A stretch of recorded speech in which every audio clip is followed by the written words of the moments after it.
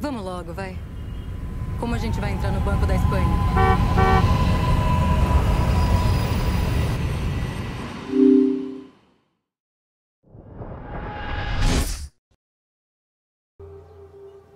Fazendo muito barulho.